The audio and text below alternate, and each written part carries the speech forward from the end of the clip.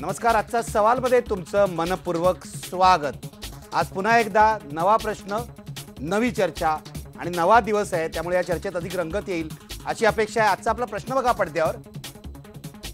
अमित शहा म्हणतात त्याप्रमाणे नरेंद्र मोदींची लाट नाही तर सुनामी आहे का? हा प्रश्न अशासाठी विचारायचा की नर नरेंद्र मोदींचे जवळचे सहकारी जे आहेत त्यांचे जे कमांडर इन चीफ आहेत ज्यांना त्यांनी उत्तर प्रदेशात पाठवलं आहे त्यांनी काल वाराणसीतल्या रोड शो नंतर हे विधान केलेलं आहे. तुम्हाला माहिती आहे नरेंद्र मोदींचा जो रोड शो आहे वाराणसीतला तो खूप मोठा होता प्रचंड होता प्रचंड उत्साह होता त्यामध्ये. आणि त्यामुळे असं विधान अमित शहानी केलंय की ही सुनामी आहे नुसती लाट नाही आहे लाटे पलीकडे काहीतरी आहे. एक तर यावर तुमचा विश्वास आहे का हे मी आपल्या पाहुण्यांना सगळ्या विचारणार आहे. आणि अशा प्रकारे ही लाट किंवा प्रचंड लाट किंवा सुनामी असेल तर तिचं विश्लेषण हे पाहुणे कसे करतात हे मला बघायचं आहे नरेंद्र मोदी हा जो फिनॉमिनन आहे हा तपासायचा आहे आपल्याला. याचं कारण नरेंद्र मोदी हा राजकीय ब्रँड काय हे तपासून घेण्याचा प्रयत्न आपण गेल्या आठवड्यात केला. भरत दाभोळकरांशी मी बोललो होतो. आता नरेंद्र मोदींच्या मागे एवढे लोक असतील तर ते कशामुळे आहेत हेही आपल्याला तपासायचं आहे मी वेगवेगळ्या व- क्षेत्रातले पाहुणे इथे बोलवणार होतो. पण आज मी जे बोल प्रामुख्याने बोलवले आहेत ते राजकीय क्षेत्रामध्ये जे विश्लेषक मानले जातात त्यांनाच बोलवलं आहे. मला उगाच्या उगाच भांडण करायचं नाही. शांतपणे चर्चा करायची आहे आणि नरेंद्र मोदींची लाट आहे की सुनामी आहे हे समजून घ्यायचं आहे. माझ्या स्टुडिओमध्ये आहेत विनय सहस्त्रबुद्धे. विनय सहस्त्रबुद्धेंना आपण सगळेच ओळखतो. ते भारतीय जनता पक्षाचे नेते असले तरी त्याहीपेक्षा माझ्या दृष्टीने महत्त्वाचं आहे की ते एक विचारवंत आहेत लेखक आहेत आणि राजकारणाचा गंभीरपणे विचार करतात. माझ्यासोबत आहेत ज्येष्ठ पत्रकार कुमार केतकर कुमार केतकर आज आपल्यासोबत लोणावळ्याहून आहेत. ते या सगळ्या लाटेकडे किंवा सुनामीकडे कसं बघतायत हे मी त्यांना विचारणार आहे. आणि माझ्यासोबत आहेत पुण्याहून ज्येष्ठ पत्रकार अनंत दीक्षित सुद्धा. वाराणसीहून माझ्या सोबे श- सोबत C N N national affairs editor Bhupendra Choubey सुद्धा येणार आहेत. पण या ही सगळी लाट कशा प्रकारची आहे? नेमकं काय आहे? कसं पाहतायत लोक त्याच्याकडे? मी चर्चेला सुरुवात करतोय कुमार केतकरांपासून. कुमार केतकर काल प्रचंड मोठा असा रोड शो नरेंद्र मोदींनी वाराणसीला केला.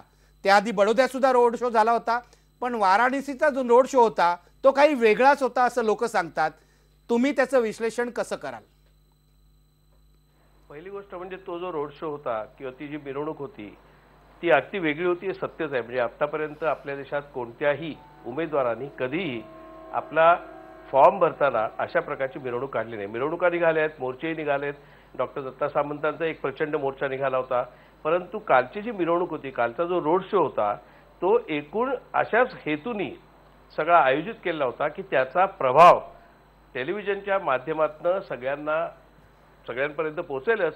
शिवाय तो जो आजूबाजूचा प्रदेश आहे वाराणसीच्या आजूबाजूला जे पूर्वांचल भाग आहे आणि तिथे असं म्हणतात की एकूण त्या सगळ्या भागामध्ये बावीस लोकसभा जागा आहेत. फक्त पूर्वांचल नाही वाराणसीच्या अलीकडे पलीकडे मिळून त्या बावीस लोकसभा जागांवरती त्याचा प्रभाव पडावा त्या रोड शोचा त्या इव्हेंटचा त्या समारंभाचा त्या मिरवणुकीचा त्या गाजावाजाचा अशा हेतूनी ते सगळं आयोजन केलं होतं.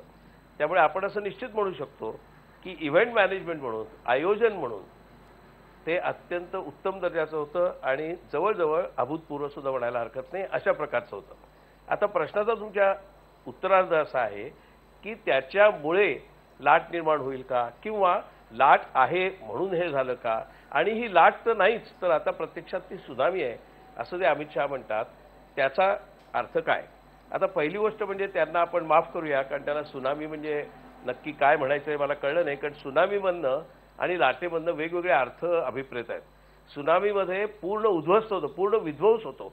सुनामीच्या ज्या लाटा असतात त्यांनी संपूर्ण एक प्रकारे तो पाण्यातला भूकंप असतो आणि त्याने आजूबाजूचा सगळा प्रदेश विध्वंस होतो अशी त्याची संकल्पना नाही आहे ही वस्तुस्थिती आहे. सुनामीचं हे वैशिष्ट्य आहे. लाटेचंही वैशिष्ट्य नसतं. लाट फार उंच जाईल अतिशय भीतीदायक वाटेल परंतु लाटेचं सुनामीत ज्यावेळी रूपांतर होतं त्यावेळी ते विध्वंसात रूपांतर होतं याचं भान बहुधा अमित शहाना नसावं. परंतु असं आपण म्हणू शकतो अनवधानाने का होणार ते सत्यच बोलून गेलेले आहेत. कारण नरेंद्र मोदींच्या ह्या लाटेचा तथाकथित सुनामीचा जो परिणाम देशाच्या राजकारणावर होणार आहे किंवा देशाच्या अर्थस्थितीवरती आणि समाजस्थितीवरती. अर्थस्थितीपेक्षा सुद्धा समाजस्थितीवरती मुख्यतः होणार आहे. तो परिणाम असाच विध्वंस करणारा होणार आहे. ह्याचं भान अमित शहाना आहे की नाही माहिती नाही. नरेंद्र मोदींना आहे की नाही माहीत नाही. त्यांची प्रशंसा करण्याला किंवा लाटेचं वर्णन सुनामी करण्याला किंवा त्याचं वर्णन लाट करण्यांना माहिती आहे की नाही माहीत नाही. परंतु एक मी मात्र सांगू शकतो की कालच्या त्या रोड शो नंतर त्या मिरवणुकीनंतर जर धडकी कोणाच्या पोटात भरली असेल तर ती केवळ विरोधी पक्षांच्या नाही. केवळ काँग्रेसच्या नाही केवळ बहुजन समाजवादी पक्षाच्या नाही समाजवादी पक्षाच्या नाही तर उत्तर प्रदेशातल्या आणि देशातल्या भारतीय जनता पक्षाच्या नेतृत्वामध्येच आणि राष्ट्रीय स्वयंसेवक संघाच्या सुद्धा उच्चपदस्थ मंडळींमध्ये ह्या मोर्चानी किंवा या मिरवणुकीने किंवा त्या रोड शोनी एक प्रकारची धडकी आली आहे. त्यांच्याच मनामध्ये ती धडधडते याचं कारण आता त्यांच्या लक्षात आलंय की त्यांनीच या नरेंद्र मोदींना पुढे आणलं. परंतु आता हे नरेंद्र मोदी हे त्यांच्या संघटनेपेक्षा त्यांच्या तथाकथित विचारापेक्षा हे इतके मोठे झालेले आहेत इतके जड झालेले आहेत की आता हे ओझं मोदींचं आपण कसं पेलवायचं?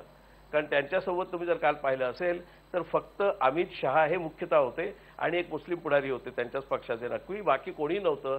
बाकी पुढाऱ्यांना जवळजवळ गेल्या कित्येक सभांमध्ये नरेंद्र मोदींनी बंदीच घातलेली आहे. ती बंदी इतकी की तेलगू देशमच्या चंद्राबाबूंच्या पक्षाबरोबर करार केल्यानंतर सुद्धा चंद्राबाबूंनी त्यांच्याबरोबर व्यासपीठावर असावं की नाही ह्याच्याचबद्दल बरीच चर्चा चालली होती फार मोठ्या अनेक प्रकारच्या प्रयत्न केल्यानंतर चंद्राबाबूंना कसं बसं तिथे अकोमोडेट केलं गेलं त्यांच्या सभेमध्ये.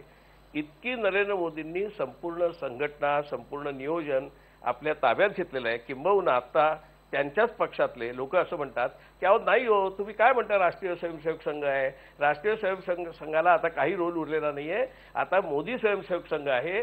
मोदींच्या स्वतंत्र इंटरनॅशनल पातळीवरती संघटित केलेल्या इव्हेंट मॅनेजमेंट टीम्स आहेत. त्यातल्या एका टीमचं नाव ॲपको आहे. त्यांना अब्जावधी रुपये दिलेले आहेत म्हणजे डॉलर्स दिलेले आहेत कोट्यावधी. आणि त्यांच्या मार्फत संपूर्ण व्यवस्थापन होतं मग ते स्टेजचं व्यवस्थापन असेल त्याच्या पाठीमागची नेपथ्य रचना लाल किल्ला करायचा का पार्लमेंट करायचं का अजून काही करायचं बरोबर आहे. याची रचना असेल किंवा भाषण किंवा त्यांनी कोणता ड्रेस घालायचा हे असेल हे सगळं आता ती मोदी मोदीच करणार आहे कुमार. कुमार तुमचा मुद्दा पोचलेला आहे आणि तुमचं असं म्हणणं आहे मोदी हे संघ किंवा भाजपपेक्षा मोठे होत आहेत आपण ही चर्चा पुढे करणार आहोत तेव्हा इतर मुद्दे घेऊया पण विनय सहस्त्रबुद्धे जी मूळ मांडणी कुमार केतकर यांनी केलेली आहे की मोदी हे लार्जर दॅन लाईफ होत आहेत. आणि याच्यामध्ये काही काही लोक सकारात्मक दृष्टीने याच्याकडे बघत असतील पण काही लोकांच्या पोटामध्ये धडकी भरली आहे. तुम्ही काय म्हणाल? मला खूप चांगलं वाटलं की थोडासा बदल होतो आहे एखादी लाट आल्यानंतर. म्हणजे अनेक चर्चांमध्ये आम्ही जे मुद्दे मांडतो ते सुद्धा आमचे मित्र असलेल्या केतकरांना ऐकायला जात नाहीत. पण आमच्या हृदयातली धडधड आता त्यांना ऐकायला जाते. म्हणजे मला असं वाटतं की त्यांनी कानाचं कोणतं तरी वेगळ्याच प्रकारचं यंत्र वगैरे हस्तगत केलं आहे की काय मला माहिती नाही. पण मी त्यांना सांगू इच्छितो की अशा प्रकारची कुठलीही धडकी भरलेली नाही कुठलीही धडधड नाही. कारण हा सगळा सामूहिकदृष्ट्या ठरवलेल्या एका योजनेचा भाग आहे. त्यांनी ज्या प्रकारचं वर्णन केलं मी त्यांना सांगू इच्छितो को केवळ इव्हेंट मॅनेजमेंटच्या दृष्टीने त्याच्याकडे बघू नका. त्याच्यामध्ये एक सामाजिक संदेश देखील आहे. ज्यांनी ज्यांनी असं आहे ना निवडणुकीचे अर्ज सगळेच जण भरतात पण प्रपोजरमध्ये एक मदन मोहन मालवी यांचा नातू असावा एक तिथे नौकानयन म्हणजे नावाडी नौका. चालवणारा एक नावाडी असावा एक आणखीन वेगळ्या समाजाचा घटक असावा असा विचार कोणी करत नाही. हा बडोद्यामध्येही त्यांनी एक चायवाला जो होता त्याला आपला प्रपोजर केलं. त्यामुळे प्रत्येक घटनेकडे एक वेगळ्या पद्धतीने आपण सामाजिक संदेशवहन करतो आहोत एक संज्ञापन करतो आहोत कम्युनिकेशन करतो आहोत या पद्धतीने पाहणारे नरेंद्र मोदी आहेत. आता राजकारणाकडे तुम्ही एक कला आणि एक शास्त्र या दोन्ही दृष्टीने पाहू शकता. त्यामुळे मला असं वाटतं की त्यातले जे बारकावे आहेत ते जर लक्षात घेतले असते तर या घटनेचा जो एक व्यापक अर्थ आहे? तो केतकरांप्रमाणे इतर अनेकांना लक्ष म्हणजे केतकरांना लक्षात यायला हवा होता पण तो इतर अनेकांना लक्षात आलेला आहे. आणि त्यामुळे हा धडकी विडकीचा प्रश्न नाही. सुनामी आणि लाट अशा शब्दच्छलात जाण्याचं काही कारण नाही. लाट ही सुद्धा लाटेचा देखील तडाखाच बसतो. त्यामुळे तसंच म्हणायचं तर इंदिरा गांधींच्या लाटेचं वर्णन केतकर आता काय करतील मला माहिती नाही त्या पण ती लाट अगदी मृदू आणि मुलायम होती आणि आमची मात्र सुनामी आहे. मला असं वाटतं की असं म्हणण्याची पाळी त्यांच्यावर येणार नाही. मुद्दा एवढाच आहे त्याच्यामध्ये की नरेंद्र मोदींनी आपल्या परफॉर्मन्सच्या आधारावर आणि जे चर्चेत मुद्दे आणलेले आहेत त्याच्या आधारावरती लक्षात घ्या की लाट आणि सुनामी किंवा लाट आणि महालाट असं का होतं आहे तर नरेंद्र मोदींचा प्रभाव हा आता केवळ भाजप समर्थकांच्या पारंपरिक वर्गावर राहिलेला नाही पारंपरिक प्रदेशांवर राहिलेला नाही. तो त्या प्रदेशांच्या पलीकडे बंगालमध्ये सुद्धा आमची माहिती अशी की आम्हाला चांगल्या संख्येत जागा मिळतील. ओरिसामध्ये आमचा परफॉर्मन्स अतिशय चांगला राहील. तामिळनाडूमध्ये जी युती आहे आम आम्ही वेगवेगळ्या पक्षांबरोबर केली आहे तिला चांगलं यश मिळेल अशी बातमी आहे.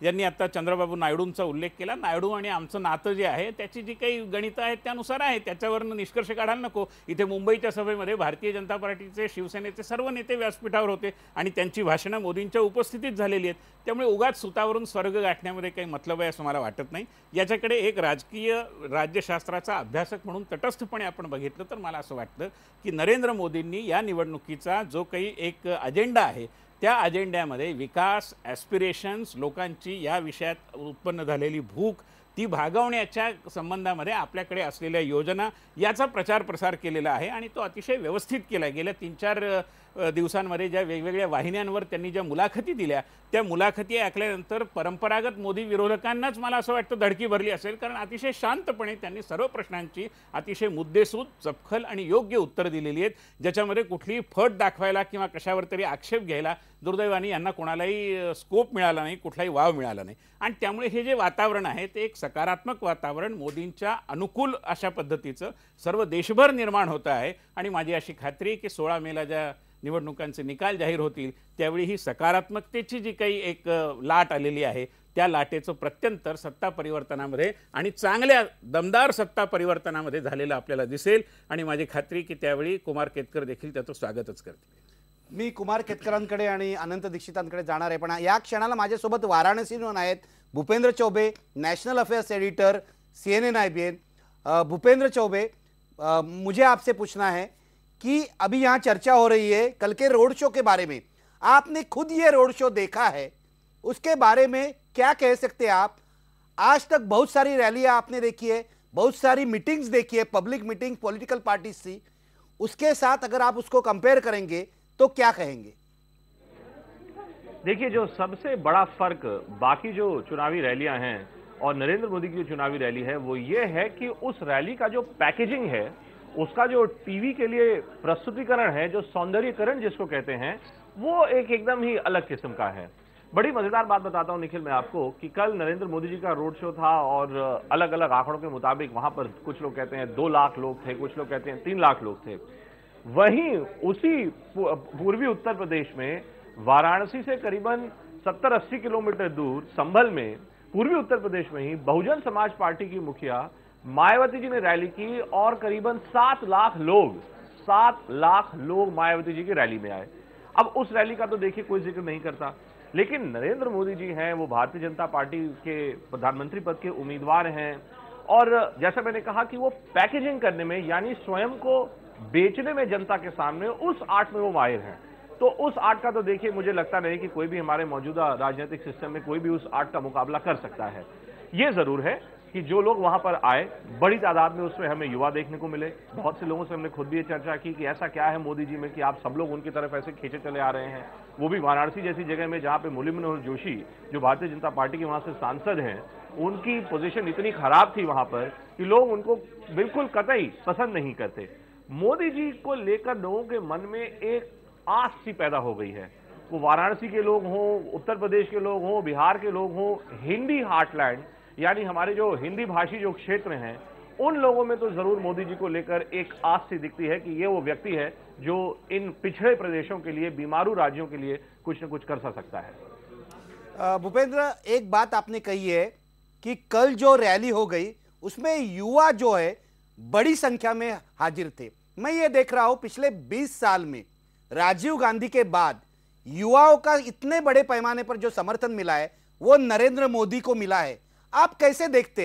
ये सारे युवा आपने बातचीत की होगी क्यों आए थे वहाँ?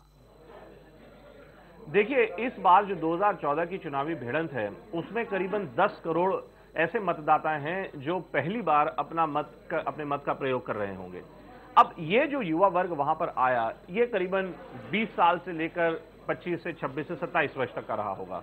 और ऐसा नहीं कि सब लोग वाराणसी के ही थे कई लोग उसमें बिहार से भी आए थे कानपुर से भी आए थे बाकी जगहों से भी आए थे।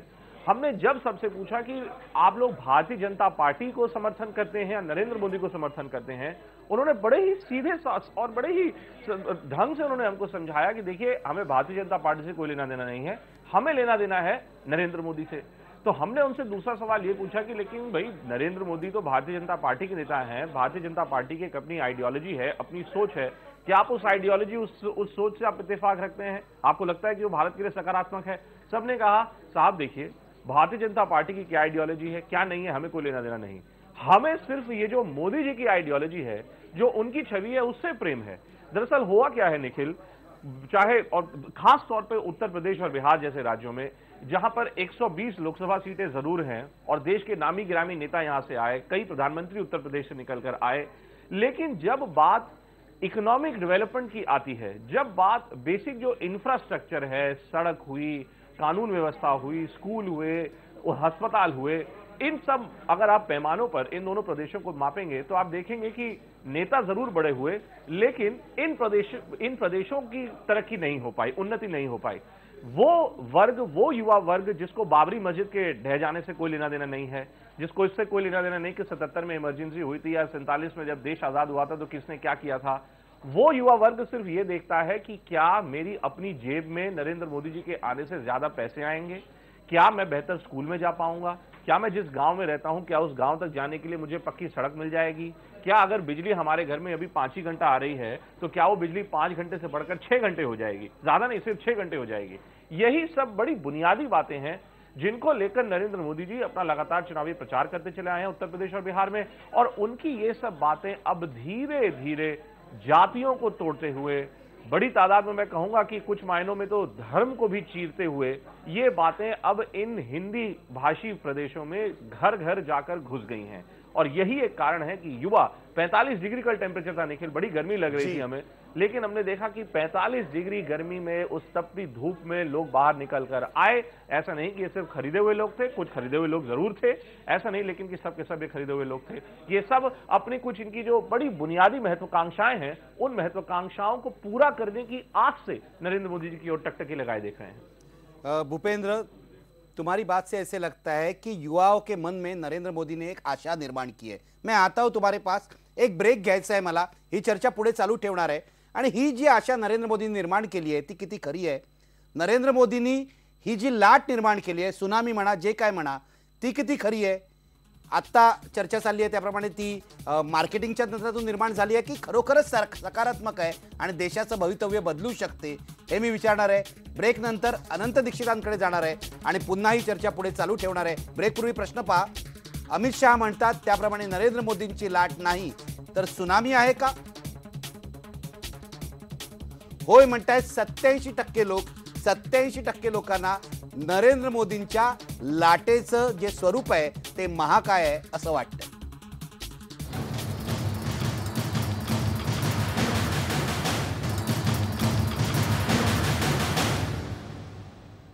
ब्रेक नंतर मी थेट जाणार आहे. अनंत दीक्षितांकडे. दीक्षित सर तुम्ही बघितली चर्चा काय चाललेली आहे? नरेंद्र मोदी हा ब्रँड निर्माण झाला याविषयी काही शंका नाही. पण हे जे काय होत आहे काल वाराणसीत जे झालं आधी बडोद्याला जे झालं जी लोकप्रियता आहे केतकर म्हणत आहेत त्यामुळे धडकी निर्माण होते अनेक जणांच्या पोटात. धडकी निर्माण होते की एक वर्ग असाही आहे की जो या सगळ्यापासून आशा बाळगतोय. मला असं वाटतं की जवळपास आठ महिन्यापूर्वी नरेंद्र मोदींचे पंतप्रधान पदाचे उमेदवार म्हणून निवड झाल्यानंतर तेव्हापासूनच किंवा त्याच्या आधी गेल्या जूनपासून नरेंद्र मोदींचं ब्रँड बिल्डिंग सुरू आहे. कोणत्याही निवडणुकीमध्ये सभांना होणारी गर्दी मिरवणुकांना होणारी गर्दी हा महत्त्वाचा विषय असतो. कारण राजकारणाच्या प्रक्रियेशी संबंधित असलेला वर्ग किती आणि संबंधित नसलेला वर्ग किती असं काढलं तर स्वाभाविकपणानं रोजच्या राजकारणाशी संबंधित नसलेला वर्ग फार मोठा असतो. आणि त्याच्यावर गर्दीचा घोषणांचा व्यक्तिमत्व बिंबवण्याचा प्रचाराचा एक फार मोठा परिणाम होत असतो. त्या दृष्टीने नरेंद्र मोदी अर्ज भरताना काल ज्या प्रकारे सुनियोजित पद्धतीने ती गर्दी दाखवण्यात आली. ज्या पद्धतीनं मतदान अनेक ठिकाणी सुरू असताना त्या गर्दीचा प्रभाव पडण्याची शक्यता निर्माण झाली. हे सगळं वेगळ्या प्रकारचं असं होतं. एक गोष्ट आपण लक्षात घेतली पाहिजे की अटल बिहारी वाजपेयींच्या नेतृत्वाखाली अठ्ठ्याण्णव नव्याण्णवला जेव्हा निवडणुका लढवल्या त्यावेळेला भाजपचा जो सर्वात हायेस्ट काय अंक होता तो एकशे ब्याऐंशीच्या आसपास होता. आणि आत्ताच्या सर्वसाधारणपणानं वेगवेगळ्या पाहण्या आणि ज्या प्रकारचं वातावरण विशेषतः माध्यमांमधून व्यक्त केलं जात आहे तो हा एकशे ब्याऐंशीचा आक- आकडा भाजप ओलांडून जाणार असं चित्र आपल्याला दिसतंय.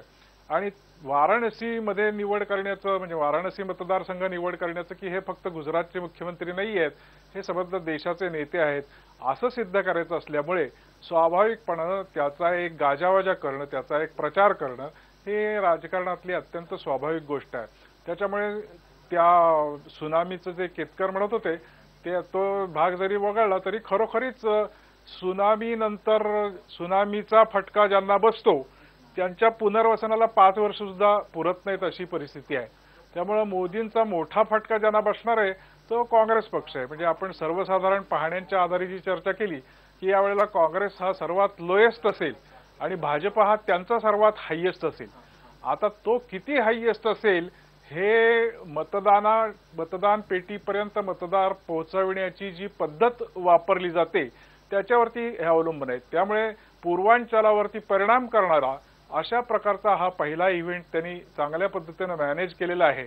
त्याचा परिणाम अर्थातच पश्चिम बंगालपासून खाली इकडे तामिळनाडूपर्यंत काय होणार याच्याबद्दल मोठ्या प्रमाणावरती मतभिन्नता आहे. आणि उत्तर प्रदेशमध्ये मात्र त्याचा परिणाम मोठ्या प्रमाणावरती दिसतोय. उत्तर प्रदेशमधून ज्या प्रकारची वार्तापत्र येत आहेत ज्या प्रकारच्या बातम्या येत आहेत आणि ज्या प्रकारे तरुण पिढीच्या पुढे ते चित्र जात आहे ते फार वेगळं आहे. आणि महाराष्ट्रासारख्या राज्यात सुद्धा आजोबा काँग्रेस पक्षात आहे तर नातू म्हणतो की मला मोदींचंच आकर्षण वाटतं. असं चित्र काही ठिकाणी दिसलं बरोबर आहे. दीक्षित सर दीक्षित सर मी येतो तुमच्याकडे. तुम्ही म्हणताय ते वेगळं आहे. हा वेगळा शब्द मला महत्त्वाचा वाटतो. विनयजी मला तुम्हाला विचारायचं आहे एका बाजूला खूप प्रेम त्यांच्याबद्दल मोदींबद्दल आणि एका बाजूला खूप भीती म्हणा किंवा तिरस्कार अशी दोन टोकाची रूपं आपल्याकडे निर्माण झालेली आहेत. तुम्ही कसं वर्णन कराल? म्हणजे केतकर म्हणतात ते खरं आहे काही लोकांच्या मनामध्ये धडकी भरलेली आहे. काही लोकांना असं वाटतंय की हाच युगपुरुष आहे हाच परिवर्तन घडवून आणेल. कसं वर्णन कराल? नाही मला असं वाटतं की याचा एक इतिहास आहे. म्हणजे ही काही धडकी किंवा त्यांच्याबद्दलची एक निगेटिव्ह भावना ज्यांच्या ज्यांच्या मनामध्ये आहे ती भावना मुळात आधी व्यक्त झाली दोन हजार दोन नंतर. एक प्रकारे जाणून बुजून अतिशय हेतुपूर्वक त्यांना खलनायक ठरवलं गेलं. त्या पद्धतीचा प्रचार केला गेला. त्यांना त्यांची काही भूमिका असू शकते ती मांडण्याची ज्या प्रकारची एक प्रबळ संधी मिळायला हवी होती तशी संधी नाकारली गेली. अशा प्रकारच्या दंगली अनेक दे प्रदे प्रांतांमध्ये झाल्या आहेत. पण त्या त्यावेळी त्या त्या ठिकाणच्या मुख्यमंत्र्याला जो न्याय दिला त्यापेक्षा वेगळा न्याय नरेंद्र मोदींना दिला गेला. एक प्रकारे त्यांना सतत आरोपीच्या पिंजऱ्यामध्ये ठेवलं गेलं आणि हे अगदी आत्ता आत्तापर्यंत अशा सगळ्या माणसाबद्दलची एक भावना जाणीवपूर्वक जोपासलेली एका बाजूला आणि दुसऱ्या बाजूला त्यांच्या कर्तृत्वाचा परिचय झालेल्या त्यांच्या कामाची ओळख झालेल्या त्यांना जवळून बघितलेल्या आणि त्यांच्या कार्याची जी पावती ज्यांना मिळालेली आहे अशा लोकांच्या मनामध्ये त्यांच्याबद्दल उत्पन्न झालेली आपुलकी प्रेम आदर या भावना या सगळ्यामुळे मला असं वाटतं की आज हे एक वातावरण आहे परंतु निश्चितच अगदी उघडच दिसतंय आपल्याला की हा जो दुसऱ्या प्रकारचा वातावरणाचा भाग आहे त्यांच्याविषयी आदर सन्मान आणि आपुलकी असणारा यांनी पहिल्या भावनांवरती निश्चितपणे सपशेल मात मात केली. केलेली आहे आणि त्या अर्थाने मला असं वाटतं की हा चांगल्या संदर्भामध्ये जर आपण बघितलं तर जसा एक तंत्राचाही विजय आहेच तंत्र आहेच याच्यामध्ये पण सगळ्यात महत्त्वाचं आहे की हा मंत्राचा विजय आहे. ज ज्या पद्धतीची भूमिका त्यांनी सतत मांडली त्या भूमिकेचा तो विजय आहे. आणि मला असं वाटतं की ज्यांनी त्यांना सतत विरोध केला आणि आपल्या ठरीव ठशीव भूमिकांच्या पलीकडे बघायचंच नाही अशी झापडं बघून झापडं बांधून ज्यांनी नरेंद्र मोदी या व्यक्तिमत्वाचं परिशीलन केलं त्यांना मला असं वाटतं की अंतर्मुख व्हायला खूप मोठा वाव आहे. केतकर तुम्ही ऐकतायत सहस्त्रबुद्धे काय सांगतायत? अंतर्मुख झालं पाहिजे नरेंद्र मोदींच्या टीकाकारांनी. मला असं वाटतं की कालपासून काल ही ही जो हा जो रोड शो होता तो बघितल्यानंतर सोशल मीडियामध्ये काय चर्चा झाली मी तुम्हाला सांगतो. एका बाजूला नरेंद्र मोदींविषयी अतिव प्रेम आणि त्यांचे समर्थक आहे ते जवळजवळ नरेंद्र मोदी जिंकलेले आहेत आणि एन डी एचं सरकार आलेलं आहे असंच गृहीत धरून लिहित आहेत दुसऱ्या बाजूला त्यांचे टीकाकार म्हणत आहेत की हा जो रोड शो आहे किंवा बडोद्यात जे होत आहे किंवा भारतात जे होत आहे त्याचं साधर्म एकोणीसशे तीस सालातल्या हिटलरच्या जर्मनीशी आहे. म्हणजे दोन टोकाच्या प्रतिक्रिया आहेत. तुम्ही कसं पाहताय याच्याकडे? वेगळ्या दृष्टीने नरेंद्र मोदींकडे बघायला पाहिजे आणि हिटलरशी तुलना करताना जरा अतिरेक होतोय असं वाटतं का तुम्हाला? या तीन गोष्टी आहेत. आत्ता भूपेंद्र चौबेंनी वाराणसीहून सांगितलं की जे तरुण तिथे आले होते आणि ज्या तरुणांना त्यांनी विचारलं की तुम्ही कशासाठी आलात? त्यावेळी ते म्हणले हम हमें भाजप से कोई लेना देना नाही आहे भाजपा का क्या विचारधारा है उसे भी हमको लेना देना नहीं है। हम मोदी जी को मानते हैं। म्हणजे ते मोदींच्या प्रतिमेवरती प्रसन्न होऊन त्यांनी भाळवून जाऊन अशा प्रकारचे ती मुलं आली. तसं त्यांनी त्या मुलांनी स्वतः सांगितलेलं आहे. याच्याच वरनं ते भारतीय जनतापेक्षा भारतीय जनता पक्षापेक्षा मोठे झाले. हे एका ह्या विधानाने सिद्ध होतं. परंतु मुद्दा केवळ तो नाही आहे हिटलरची तुलना ज्यावेळेला केली जाते त्यावेळेला कोणत्याही पहिल्या गोष्ट म्हणजे दोन व्यक्ती किंवा दोन देश किंवा दोन परिस्थिती ह्या जशाच्या तशा तुम्ही कधी तुलना करू शकत नाही. त्याच्यातली जी अंतर्गत रचना असते ज्याला प्रोसेस म्हणतो आपण प्रक्रिया असते रचना आणि प्रक्रिया मिळून जी प्रोसेस तयार होते त्या प्रोसेसची तुलना आहे. ती प्रोसेस काय आहे? तर तुम्ही ज्या वेळेला एखाद्या इन्स्टिट्यूशनपेक्षा एखादी व्यक्ती आउट ऑफ प्रपोशन प्रत्येक वेळेला प्रत्येक इन्स्टिट्यूशनला कोणती तरी व्यक्ती प्रातिनिधिक म्हणून लागते तिला एक स्वतंत्र प्र प्रतिभा प्राप्त होते हे सगळं खरं जरी असलं तरी ती प्रतिभा ज्या वेळेला त्या संस्थेच्या त्या इन्स्टिट्यूशनच्यापेक्षा प्रचंड प्रमाणात वाढते त्यावेळेला त्या इन्स्टिट्यूशनलाच एक प्रकारे धोका प्राप्त होतो. हा अनुभव जागतिक पातळीवरती आहे. हा जागतिक पातळीचा अनुभव फक्त इथे हिटलरच्या तुलनेमध्ये आपण घ्यायला हवा नाही तर जर्मनी कुठे हिटलर जर्मनी आणि हिटलरची कुठे भारताशी तुलना करता भारतामध्ये केवढं वैविध्य आहे जर्मनीमध्ये एकच भाषा होती जर्मनीमध्ये प्रामुख्याने एकच धर्म होता भारतात किती हे आहे किती ते आहे. तशी तुलना नाही आहे ही ही प्रक्रिया आणि रचना याच्यातली तुलना आहे आणि ती प्रक्रिया आणि रचनाची तुलना एकोणीशे तीस ते एकोणीशे तेहतीसच्या काळात विशेषतः एकोणीशे तेहतीसच्या विजयानंतर हिटलर विजयानंतर हिटलरनी जी रॅली घेतली ज्या रॅलीला अल्बर्ट स्पियरनी संपूर्ण त्याची रचना केली होती तशीच रचना आता अमित शहानी केली आहे. किंवा अमेरिकेमध्ये काल रोजनी जशी केली जॉर्ज बुशसाठी तशा प्रकारची आहे ही रचना आणि ही प्रक्रिया हे सर्व जे नियोजन असतं तेही भूपेन चौबेने तुम्हाला सांगितलं की आत्ताच नुकतीच सात लाखाची मायावतींची रॅली झाली पण त्याचं कोणत्याही मीडियाने कुठेही प्रदर्शन केलं नाही कुठेही दाखवलं नाही कुठेही मीडिया मॅनेजमेंट नाही. मीडिया मॅनेजमेंट करावी की नाही? अवश्य करावी. प्रचार करावा की नाही? अवश्य करावा. परिणामकारकरित्या करावा की नाही? अवश्य करावा. सुनियोजित करावा की नाही? आवश्यक करावा. त्याचा कोणाचाही त्याच्याबद्दल वादाचा मुद्दा नाही आहे मुद्दा त्यातला असा आहे की ज्या पद्धतीने ते सगळं सजवलं जात आहे ज्या पद्धतीने ते सगळं घडवलं जात आहे ज्या पद्धतीने ते सगळं नियोजन केलं झालंय त्याची जी शैली आहे ती मात्र शंभर टक्के ज्याला हिटलरी शैली म्हणतात नाझी शैली म्हणतात तशी आहे. आता त्याच्याच बद्दल आकर्षण संघामध्ये खूप लोकांना आहे. संघात कशाला राज ठाकरेंना सुद्धा आहे बाळासाहेब ठाकरे सुद्धा होतं तेव्हा तशा विचारसरणीचं आणि तशा प्रतिमा बांधण्याचं आकर्षण आपल्या देशात पूर्वीपासून खूप लोकांना आहे. संघात होतं मगाशी म्हटल्याप्रमाणे ठाकरे सुद्धा होतं. त्या दृष्टिकोनातनं हे सगळं बांधलं जातंय हे आपण लक्षात घेतलं पाहिजे. शब्दच्छल सुनामी आणि लाट हा जरा तुम्ही बाजूला ठेवा. पण सुनामी नंतर जो विध्वंस झाला तसा विध्वंस जर्मनीने पाहिला आहे. हिटलरनी सुरू केलेल्या युद्धांमुळे ऐंशी लाख जर्मन मारले गेले. आणि शेवटी त्या स्वतः हिटलरला स्वतःच्या डोक्यात गोळ्या घालून आत्महत्या करावी लागली. असं कोणाचं इकडे होऊ नये. तशा अर्थाने आम्ही तुलना करत नाहीये. परंतु इतिहासातनं जर आपण काही शिकणार असलो तर अगदी आता इंदिरा गांधींचं यांनी उदाहरण दिलं. इंदिरा गांधींवरती टीका काय आहे? याच मंडळींची मला प्रश्न विचारतात ते पण इंदिरा गांधींवरची त्यांच्या टीकाकारांची भूमिका काय आहे? की त्यांनी संस्थात्मक जीवन नष्ट केलं. त्यांनी आपली प्रतिमा संस्थांपेक्षा मोठी केली. त्यांनी आपण गव्हर्नन्स करतोय अधिकारवाणींनी निश्चित आपली भूमिका मांडतोय आणि ती घडवून आणतोय. ह्याचा दबदबा एवढा निर्माण केला की त्यांचा पक्ष किंवा इतर अनेक संस्था या एकदम दुय्यम किंवा तिय्यम झाल्या. हीच टीका या मंडळींची आहे. मग ही टीका करणाऱ्यांनी तरी मोदीला पाठिंबा देता कामा नये? जसं ते म्हणतील मग तुम्ही दिला पाहिजे पण आमचा या भूमिकेलाच विरोध आहे. म्हणजे या पद्धतीची मांडणी ह्या पद्धतीची तुलना नाही या पद्धतीची तुलना चुकीची आहे. नाही मी काय केलं नाही. तुम्ही केला ना पाठिंबा तुम्ही नाही दिला पाठिंबा पण तुम्ही देताय ना मोदींना पाठिंबा. तुम्ही काय म्हणता त्यांनी इन्स्टिट्यूशन नष्ट केली पक्षापेक्षा त्यांचं व्यक्तित्व मोठं केलं मग आता तुम्ही तेच करताय. इंदिरा गांधींच्या इंदिरा गांधींना तुम्ही समर्थन करावं किंबहुना पंडित नेहरूंनाही तुम्ही समर्थन करावं इतकंच काय तुम्ही मोतीलाल नेहरूंना समर्थन करावं असं कोणी वेळा माणूस अपेक्षा करणार नाही. कारण तुमचा नेहरू कुटुंबाला विरोध नाहीये. नेहरू कुटुंबाच्या मार्फत येणारी जी विचारसरणी आहे, त्याला विरोध आहे आम्ही समजू शकतो. त्याच्याबद्दल माझा आक्षेप नाही. लोकशाहीमध्ये तुमचा विचार मांडायला तुम्हाला पूर्ण अधिकार आहे. आता आपली चर्चा आहे ती नरेंद्र मोदीची लाट आहे का सुनामी आहे आणि त्याचा प्रभाव आहे. किती आहे त्याच्याबद्दल भूपेन चौबेंनी भूपेन चौबेंनी जे सांगितलं अनंत दीक्षितांनी जे सांगितलं तो हाच मुद्दा आहे. की त्या लाटेतनं निर्माण होणारं जे रौद्ररूप आहे ते रौद्ररूप आता भारतीय जनता पक्षाच्या आवाक्यात राहिलेलं नाही त्यांच्या नियंत्रणाखाली राहिलेलं नाही. हे त्यांना जाणवत आहे विनय आम्ही पत्रकार आहोत. आम्हाला सगळ्या गोष्टी जाहीरपणे कॅमेरावर सांगता येत नाहीत.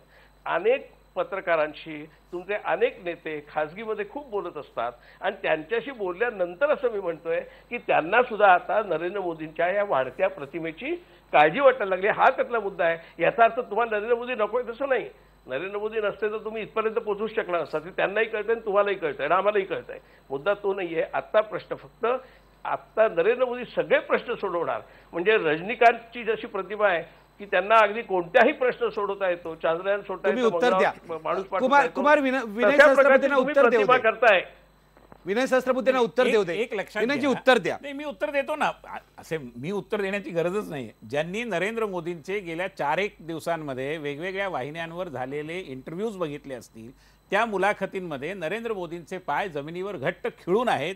त्यांनी कुठल्याही प्रकारची हवाबाजी आतिषबाजी आश्वासनांची खैरात असं काहीही करण्याच्या मोहापासून स्वतःला वाचवलेलं आहे हे आपल्या लक्षात येईल. त्यांनी हे म्हटलं की ॲडव्हर्सरियल पॉलिटिक्स हा माझा स्वभाव नाही. मी तर काँग्रेसच्या बरोबर देखील काम करायला तयार आहे. मला नाही माहिती हिटलरनी कधी असं म्हटलं होतं काय आता केतकर हे आमच्यापेक्षा जास्त अभ्यासू आहेत माहिती नाही मला. त्यामुळे अशा प्रकारची कुठलीही भूमिका नाही. त्यांचे पाय जमिनीवर खिळून आहेत. त्यांना माहिती आहे की या देशाचे प्रश्न जटिल आहेत. फक्त त्यांना एवढंच म्हणायचं आहे की याच पद्धतीमध्ये इथली नोकरशाही अशीच असताना घटना अशीच असताना संवैधानिक आणि अन्य रचना अशाच असताना देखील मी गुजरातेत काही करू शकलो याचं कारण करण्याची एक इच्छाशक्ती पाहिजे आणि त्या इच्छाशक्तीनुसार स सभोवतालच्या परिस्थितीमध्ये परिवर्तन घडवून आणण्याची एक धमक पाहिजे. तशा प्रकारचा निर्धार पाहिजे. तसा असेल तुमचा हेतू जर शुद्ध असेल तर सगळे लोक तुम्हाला मदत करतात. असंच तिथे झालेलं आहे. आणि त्यामुळे तिथली ब्युरोक्रेसी असेल किंवा तिथल्या ज्या बाकी अडचणी कुठल्याही प्रशासनाच्या समोर असतात त्या अडचणींवर मात करत करत त्यांनी त्या ठिकाणी एक सुशासन निर्माण केलं जे सगळ्यांना माहिती आहे.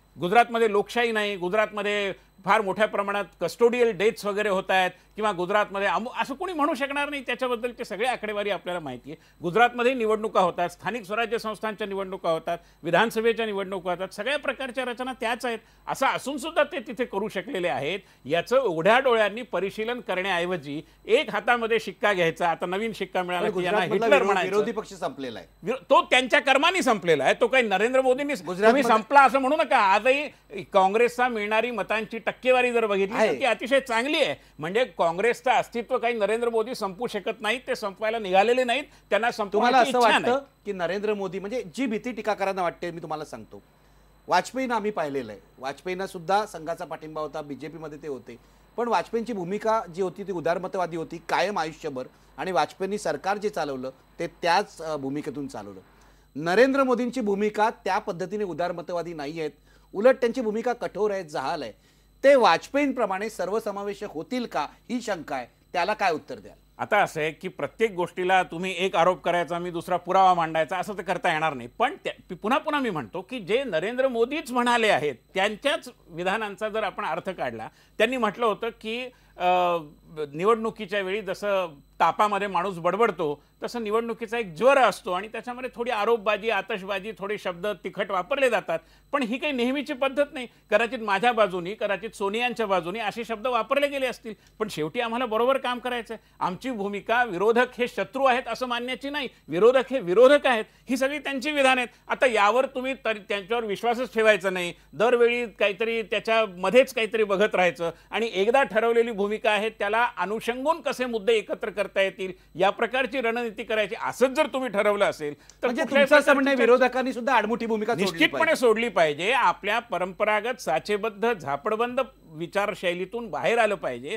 नरेंद्र मोदींना एक संधी दिली पाहिजे ना की ते बदलले आहेत असं किंवा त्यांच्याकडे काही वेगळ्या पद्धतीची रचना आहे असं तुम्ही विश्वास तर ठेवला पाहिजे. सगळी जनता विश्वास ठेवायला तयार आहेत परंतु मुठभर लोक विश्वास ठेवायला तयार नाहीत. मला असं वाटतं की हा जनतेच्या सामूहिक शहाणपणावर देखील एक प्रकारचा अविश्वास आहे. अगदी. तुम्ही खरोखरच मोलाचा मुद्दा मांडलाय आणि याच मुद्द्यावर मला पुढचा सेगमेंट करायचा आहे की जेव्हा देशातले बहुसंख्य लोक ज्यांनी मतं दिली आहेत त्यापैकी बहुसंख्य लोक चाळीस ते पंचेचाळीस टक्के लोक नरेंद्र मोदींना मत देत आहेत त्यांना वाटते नरेंद्र मोदी पंतप्रधान व्हावेत तर मग त्यांचे टीकाकार त्यांना एक संधी द्यायला का तयार नाही आहेत मी भूपेन चौबे यांच्यापासून सुरुवात करणार आहे. त्यांनी अनेक राजकीय नेते बघितलेले आहेत.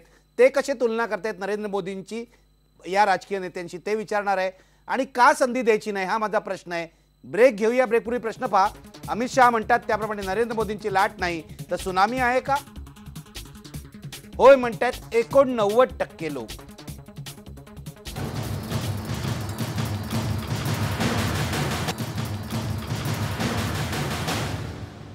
मी ब्रेक नंतर पुन्हा एकदा सुरुवात करतो मी भूपेंद्र चौबे यांच्याकडे जाणार आहे. भूपेंद्र अभी विनयजीनं जो मुद्दा उठाया आहे अगर देश की जनता नरेंद्र मोदी को चुनना चाहती है तो उनके आलोचक जो है, वो उनको मौका देने के लिए क्यों तैयार नहीं है? वो पूछ रहे क्या जवाब देंगे आप?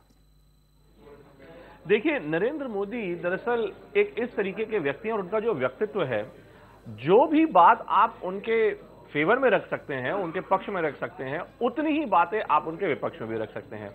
अब अगर मैं आपको ये आज बता रहा हूँ कि देखिए, वाराणसी में उन्होंने जो कुछ किया, उनका जो जो बात करने का तरीका है या जिस प्रकार से वो लोगों से अपना एक direct emotional contact direct contact किसी अपनी प्रजा से एस्टेब्लिश कर लेते हैं। अगर वो इतनी अच्छी बात है तो फिर कुछ लोग ये भी तो पूछेंगे ना कि फिर अगर सब कुछ इतना ही अच्छा था और इतनी बड़ी विजन थी तो फिर 2002 में जब वो मुख्यमंत्री थे प्रदेश के तो फिर क्यों नहीं वो लोगों को बचा पाए? वो क्यों नहीं ये जो फेक एनकाउंटर्स जो हो रहे थे उनके प्रदेश में तो क्यों नहीं वो कुछ कर पाए? तो जो इकोनॉमिक विजन है, जो डेवलपमेंट है, उनका राजनीतिक राजनीतिक प्रचार का जो तरीका है, वो सब ठीक है। लेकिन उसी तरह से ये भी बातें हैं जो उन्हीं के व्यक्तित्व का हिस्सा है। समस्या ये है दरअसल निखिल, कि मोदी जी ये चाहते हैं कि देशवासी, पत्रकार, सब लोग उनके जीवन के, उनके राजनीतिक करियर के जो अनकंफर्टेबल यानी वो इश्यूज़ जो कि विवादास्पद हैं कंट्रोवर्शियल हैं, उन इश्यूज़ को हम भूल जाएँ। और मोदी जी को सिर्फ़ हम एक डेवलपमेंट के, एक विकास के मसीहा के रूप में देखें। अब ऐसा कैसे हो सकता है? आप एक व्यक्ति को उसका एक हिस्सा तो काट नहीं सकते ना आप। आपको देखेंगे तो आप उसको पूरे परिप्रेक्ष्य में देखेंगे।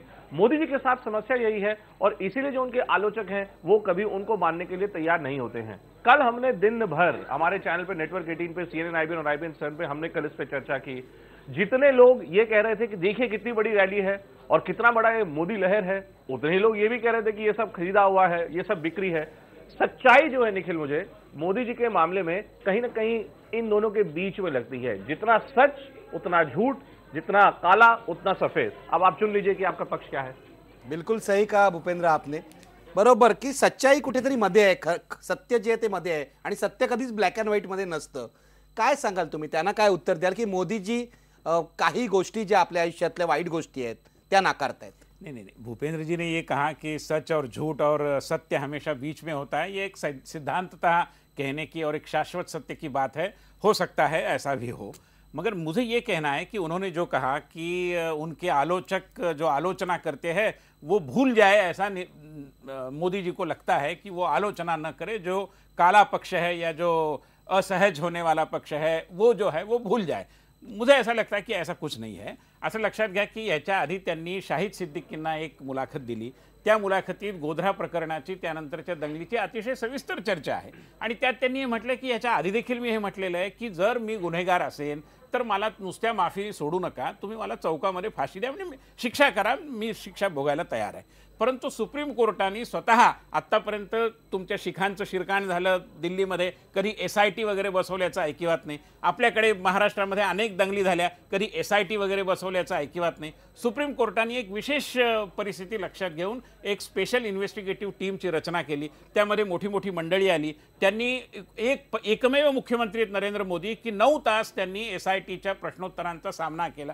इतकं सगळं होऊ नये जर सुप्रीम कोर्टाला त्यामध्ये तथ्य आढळलं नसेल आणि त्यांनी असं म्हटलं असेल की याच्यामध्ये काही तथ्य नाही तर ते स्वीकारायचं नाही. आणि पुन्हा पुन्हा त्यांना त्या दोन हजार दोनशेच खिळवून ठेवायचं. मला असं वाटतं की समाज खूप पुढे गेलेला आहे लोकही खूप पुढे गेलेली आहेत आणि त्यामुळे त्याच त्याच जुन्या प्रकरणांचे जे कोळसे आहेत ते उगाळून त्यातनं आता काही निघणार नाही. एक लोकांना हे माहिती हा, आहे. हूं. आणि त्यामुळे मला असं वाटतं की असा असा मुद्दा नाहीये की जुनी प्रकरणं काढू नयेत. त्याच्याबद्दलची जी भूमिका त्यांनी मांडलेली आहे वारंवार ती भूमिका लक्षात घ्यावी आणि त्याच त्याच प्रश्नांची चर्चा करायची असेल तर आपल्याला पुढे जाताच येणार नाही. दोन हज़ार दोन आणि दोन हज़ार चौदा ह्याच्यात काही अंतर नाही तुमचं असं म्हणणं नव्या दृष्टीने बघायला पाहिजे. निश्चितपणे. भूपेंद्र. मैं आ, मैं मैं मैं जो, जो विनय भाई हमारे बड़े मित्र हैं मेरे लेकिन अब आप मैं वाराणसी के ही प्रकरण में अगर आपको ये बात मैं आगे लेके चलूँ निखिल बनारस में साढ़े चार लाख मुस्लिम मतदाता हैं। अब नरेंद्र मोदी जी वहाँ से अब चुनाव के प्रत्याशी हैं, भारतीय जनता पार्टी के। मैं आपको बता रहा हूँ कि वहाँ पर जो मुस्लिम समुदाय है, मुस्लिम तबका है, वो लोग बहुत डरे हुए हैं। वो लोग वाकई बहुत संजीदगी से सोच रहे हैं कि अगर मोदी जी बन गए तो हमारा क्या होगा। अब मेरी मेरी बात सीधी है। विनय सर से बुद्धे जी ये कहते हैं कि सुप्रीम कोर्ट से भी क्लीन चिट मिल गई। सब मैं, सब मानने के लिए तैयार हूँ, लेकिन हम जानते हैं राजनीति कोर्ट्स के भरोसे नहीं चलती विनय भाई। राजनीति परसेप्शन के भरोसे चलती है। क्या आप अप्रोच लेके चल रहे हैं, उसके भरोसे चलती है? मेरा क्या निवेदन सिर्फ़ इतना है कि मोदी जी क्यों परसेप्शनल क्रेडिबिलिटी क्राइसिस जो है, उससे कभी निपटने के लिए क्यों तैयार नहीं होते? ये जो आप बात रख रहे हैं और बीजेपी के जितने प्रवक्ता हमेशा रखते हैं कि ये तो जी मीडिया उनको टारगेट करता है टारगेट करने की बात नहीं है। जितने भी इंटरव्यूज़ हुए, आप मुझे बता दीजिए।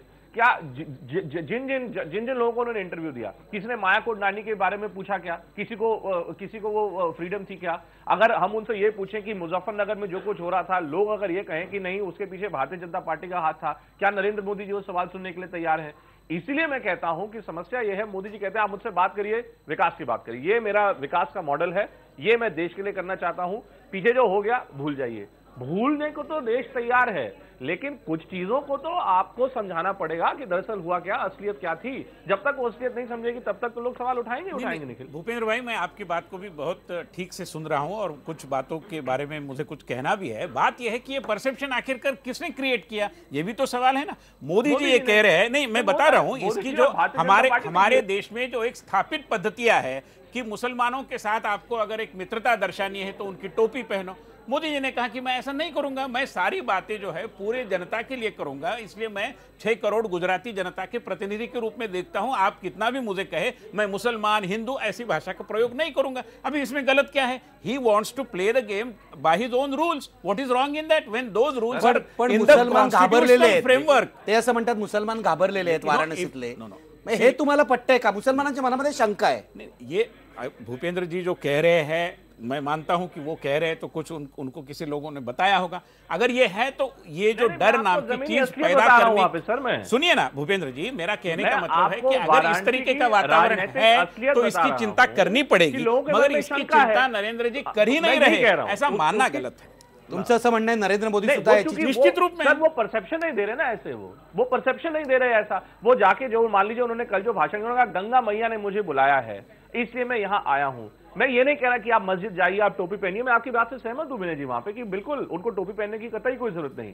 लेकिन अगर वो भारत का प्रधानमंत्री बनने जा रहे हैं वो एक ऐसे इलाके से एक ऐसे सूबे से सांसद चुनने की उन, उनकी जो मंशा है उत्तर प्रदेश में 17 परसेंट मुस्लिम मतदाता है बनारस में मुस्लिम मतदाता मेजॉरिटी में है माइनॉरिटी में नहीं है। वहाँ से बीजेपी की सेफ़ सीट इसलिए हो जाती है जो कि मुस्लिम मतदाता हर बार बढ़ जाता है।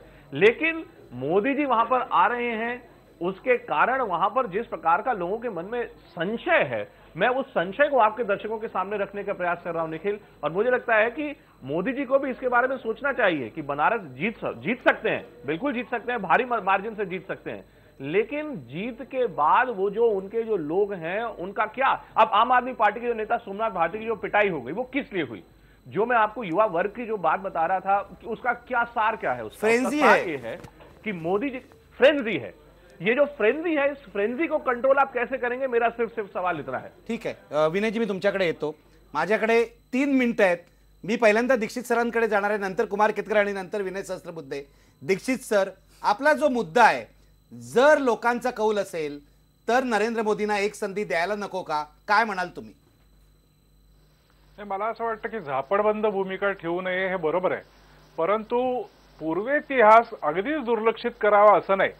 म्हणजे जवाहरलाल नेहरूंपेक्षा पटेल पंतप्रधान झाले असते तर बरं झाले असते असं आपण जेव्हा म्हणतो तेव्हा मग माया कोदनानी प्रकरणामध्ये ज्योत्स्ना याज्ञिक यांनी निर्णय देताना ज्या स्त्रियांवरती बलात्कार झाले त्यांना मोदी सरकारने प्रत्येकी पाच लाख रुपये दिले पाहिजेत असा निर्णय दिला.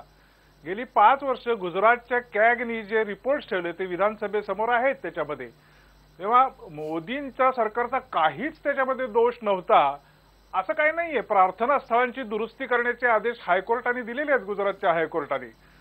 किंवा सुप्रीम कोर्टाने जस्टिस खरे जेव्हा मुख्य न्यायाधीश होते तेव्हा असं म्हटलंय की तुम्हाला जर दंगलग्रस्तांना न्याय देता येत नसेल तर तुम्ही राज्य कशाला करता? हे अक्रॉस द बार केलेलं स्टेटमेंट होतं. तेव्हा हा पूर्वेतिहास जो आहे की वल्लभभाई पटेलांचा मोठा पुतळा उभा करणार पण वल्लभभाई पटेलांना तीनशे सत्तराव्या कलमाला पाठिंबा होता कॉन्स्टिट्युएंट असेंब्लीमध्ये त्यांनी भाषण केलं होतं. या विरोधाभासाच्या संदर्भात मुळापासून गांभीर्यानं भूमिका बदलण्याची तयारी असेल आणि बहुमतावर येणारं राज्य म्हणजे राज्य नसून घटनेनुसार आणि कायद्यानुसार चालणारं राज्य म्हणजे लोकशाही. असं मानणार असेल तर लोक संधी द्यायला तयार आहेत. किंबहुना मोदी पंतप्रधान होणार असं आपण गृहितच धरलेलं आहे. काँग्रेसने ज्या पद्धतीने सगळा बॅकआउट केलेला आहे त्याच्यामुळे ते होतील पण त्यांच्याविषयीच्या शंका या उपस्थित होत राहणारच आणि ते झाले पाहिजे बरोबर आहे. म्हणजे त्याला उत्तर द्यायला पाहिजे असं तुम्ही म्हणताय. कुमार मला तुम्हाला विचारायचं आहे. मोदींनी स्वतःची प्रतिमा बदलायला पाहिजे कार्यपद्धती बदलायला पाहिजे असं आपण म्हणतो. हे शक्य आहे का? होऊ शकतंय का? आणि एकाच दृष्टीने मोदींकडे बघणं योग्य आहे का? पहिली गोष्ट म्हणजे आता भूपेंनी फार चांगला शब्दप्रयोग केला. परसेप्शनल क्रेडिबिलिटी क्रायसिस हा फक्त टोपी घालण्याचा मुद्दा नाही. त्यांनी टोपी घालायची नसेल तर घालू नये. परंतु पाटण्याला बॉम्बस्फोट झाल्यानंतर जी माणसं जखमी झाली त्यांच्याकडे अत्यंत गहिवरून गहिवरून ते चौकशीसाठी गेले. पण त्यांच्याच राज्यामध्ये जवळजवळ पन्नास हजार लोक बेघर झाले. आणि एक ते दीड हजार माणसं मारली गेली तिथेच त्या निर्वासितांच्या छावण्या आहेत. त्याच्यामध्ये नव्याण्णव टक्के लोक मुस्लिम आहेत म्हणजे शंभर टक्के मुस्लिम आहेत. त्या मुस्लिमांच्याकडे कुठे गेले ते? पाटण्याला गेले. पण त्यांचे अश्रू पुसायला गेले नाही. परसेप्शन अशा गोष्टीतनं तयार होतं. टोपी घालण्यातनं नाही तयार होत.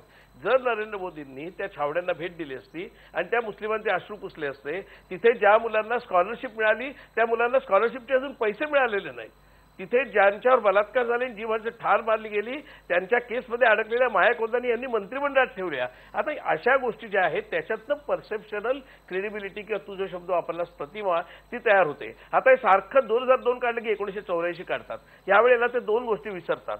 एकोणीशे चौऱ्याऐंशी अमृतसरची जी कारवाई आहे त्या कारवाईच्या वेळेला राष्ट्रपती शीख होते. आणि आपल्याकडे तुला माहिती आहे सैन्याचा सर्वाधिकारी हा राष्ट्रपती असतो. त्यामुळे जे सैन्य अमृतसरला गेलं तिकडे त्या आक्रमण करायला त्यांच्या भाषेत तर ते झेडसिंग अध्यक्ष असताना गेले. त्याच्यानंतर मनमोहन सिंग पंतप्रधान झाले. आत्ता अमरिंदर सिंग अमृतसर अमृतसरमधनं ते सरदारजी आहेत. अमृतसरमधनं उभे आहेत. म्हणजे काँग्रेस पक्षाचा जर असा शीख विरोध असता तर मग ह्या घटना घडल्या नसत्या. जयलसिंग मनमोहन सिंग अमरिंदर सिंग अशा घटना घडल्या नसत्या. आर्मी चीफ सुद्धा त्यांनी नंतर शीखच केलेला होता. असं गुजरातमध्ये त्यांनी दाखवलंय का? किंवा आपल्या मंत्रिमंडळामध्ये एक पाच मुस्लिम आहेत. आपण ज्या निर्वासितांच्या छावण्यांना भेट दिलेली आहे अशा प्रकारचं कोणते ज्याला परसेप्शनल क्रेडिबिलिटी क्रायसिस म्हणतात तो याच्यातनं तयार होतो. तुमचं वागणं कसं आहे याच्यातनं तयार होतो. त्यांचं वागणं आतापर्यंत अतिशय असहिष्णू आहे. आणि टेलिव्हिजनच्या मुलाखतीमध्ये चार उदार उत्तरं दिली. म्हणजे तुमचं वागणं सहिष्णू झालं असं होत नाही. आम्हाला डिजिटल मीडिया आणि सोशल मीडियामधनं मोदी समर्थक कसे बोलतात? असं कधी वाजपेयी समर्थक बोललेले नव्हते. त्यामुळे आम्हाला कळतं मोदींचा चेहरा मोदींचा प्रचार मोदींचे टीव्हीचे इंटरव्ह्यू आणि प्रत्यक्षात मोदींचा ऑल्टर इगो जो त्या सोशल मीडियामध्ये आहे जो त्या अमित शहामध्ये आहे जो त्या गुरिराजमध्ये आहे आणि जो त्या प्रवीण तोगड्यामध्ये तो ऑल्टर इगो आम्हाला दिसतो. ती जी भीती वाटते ना मुसलमानांची ती अनाटही असेल. ती कदाचित काँग्रेसच्या प्रचारामुळे असेल आलोचकांच्या प्रचारामुळे असेल परंतु वस्तुस्थिती आहे की त्यांच्या मनात ती भीती आहे ती दूर करण्यासाठी तुम्ही काय प्रयत्न केले? म्हणजे तुम्हाला असं म्हणायचं आहे का की आलोचकांचा प्रचार त्यांना पटतो तुमचा प्रचार पटत नाही? असं तर नाही म्हणता येणार ना. तुम्ही एवढी प्रचार यंत्रणा उत्तम केले की तुम्हाला सात लाख मायावतींचे फॉलोअर जे आहेत ते मीडियाला दिसत नाहीत पण यांचे दोन लाख दिसतात. आणि तुमची एवढी सुनामी आणि महाकाय लाट वगैरे आहे ती तामिळनाडूमध्ये नाही ती बंगालमध्ये नाही ती केरळमध्ये नाही ती आंध्रमध्ये नाही. आणि तुम्ही काय सांगता ती लाट आहे म्हणून. म्हणजे ती काही विशिष्ट भागात जिथे भारतीय जनता पक्षाचा जोर आहे तिथे भारतीय जनता पक्षाला मागे सारून ती लाट गेलेली आहे. आणि तुम्ही अशी म्हटल्यास काँग्रेस पक्ष त्यांनी संपवलाय का?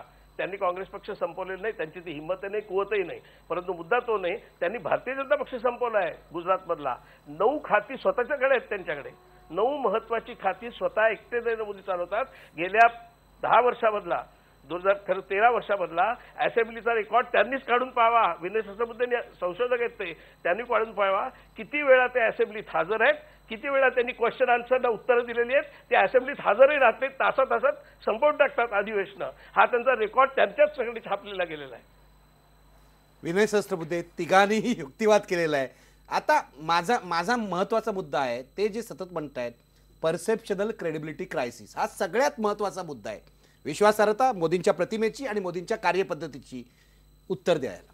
असं आहे परसेप्शनल क्रेडिबिलिटी ही जशी प्रसारमाध्यमांच्या आणि तथाकथित आपण ज्याला अकॅडमिया आणि बौद्धिक विश्वामध्ये आहे तशी ती जनतेमध्ये जनता देखील काही या लोकांना टाळून मतं बनवत नाही ना? शेवटी या लोकांच्या माध्यमातूनच मतं बनवतात. त्यामुळे जनतेनं मत बनवलेलं मत हा परसेप्शनल क्रेडिबिलिटीवरचा एक प्रकारचे शिक्कामोर्तब करण्याचा मार्ग आहे. विश्वास. तो निश्चितपणे त्या क्रेडिबिलिटीवर जर जनता शिक्कामोर्तब करत असेल तर आपल्या प्रस्थापित ज्या काही रचना आहेत प्रस्थापित जे काही वर्चस्व आहे एका विशिष्ट सोकॉल्ड प्रागतिक विचारसरणीचं ते उद्ध्वस्त होईल. या भीतीने आपण एक परसेप्शनल क्रेडिबिलिटी नावाचा मतपेटीच्या क्रेडिबिलिटीच्याही वरती दशांगुळे उरला अशा प्रकारचा एक नवा काहीतरी फंडा आहे असं सांगायचं. आणि ती क्रेडिबिलिटी पण त्याचं काय होणार असं म्हणायचं. असंही नरेंद्र मोदी पंतप्रधान झाले तरी ते संसदेला जबाबदार आहेत. त्यांनी पहिल्यापासून म्हटलं की या घटने घटना ही माझी गीता आहे. सरकारची गीता एकमेव धर्मग्रंथ एकमेव असला पाहिजे तो म्हणजे संविधान. असं जो माणूस म्हणतो त्या माणसाच्या या प्रकारच्या समजा उद्या त्यांच्या संबंधामध्ये काही आक्षेप असतील तर ते संसदेत उठणार आहेत मीडियामध्ये उठणार आहेत त्याच घटनात्मक चौकटीत ते वावरणार आहेत. त्यामुळे उगाच एक बागुलबुवा निर्माण करायचा आणि परसेप्शनल क्रेडिबिलिटी नाही बरं का आता अशा प्रकारचं काहीतरी एक भयानक काहीतरी होतं आहे अशा प्रकारची हूल उठवायची आणि लोकांच्या मनात जी परसेप्शनल क्रेडिबिलिटीच उत्पन्न झालेली आहे ना जी मतपेटीतून आपल्याला बहुधा दिसणार आहे त्या क्रेडिबिलिटीला एक प्रकारे नाकारण्याचा त्याला वळसा घालण्याचा हा जो काही एक उपद्व्याप आहे मला असं वाटतं की तो आता टीकाकारांनी थांबवला पाहिजे आणि म्हणून मी पुन्हा एकदा म्हणेन की अंतर्मुख होणं आवश्यक आहे. मी याच नोटवर हा कार्यक्रम संपवतोय. मला माहिती आहे नरेंद्र मोदी हा विषय जो आहे तो इतका उद्बोधक आहे इतका गहन आहे की एका कार्यक्रमात दोन कार्यक्रमात दहा कार्यक्रमात चर्चा पूर्ण होणार नाही. म्हणून सतत तो तपासण्याचा माझा प्रयत्न आहे. शेवटी पुन्हा एकदा प्रश्न बघा. अमित शहा म्हणतात त्याप्रमाणे नरेंद्र मोदींची लाट नाही तर सुनामी आहे का? अठ्ठ्याऐंशी टक्के लोक म्हणत आहेत ही सुनामी आहे. ही सुनामी तपासण्याचा प्रयत्न आपण पुढच्या काळातही करू. आणि मला आशा आहे विनय सहस्त्रबुद्धे कुमार केतकर अनंत दीक्षित भूपेन चौवे यांच्यासारखे जाणकार आपल्या या चर्चेमध्ये कायम सामील होतील. कारण राजकीय आरोप प्रत्यारोपांचा प्रश्न नाही आहे भारतीय राजकारण एक वळण घेत आहे ते समजून घेण्याचा प्रश्न आहे. धन्यवाद. पहा फक्त आयबीन लोक.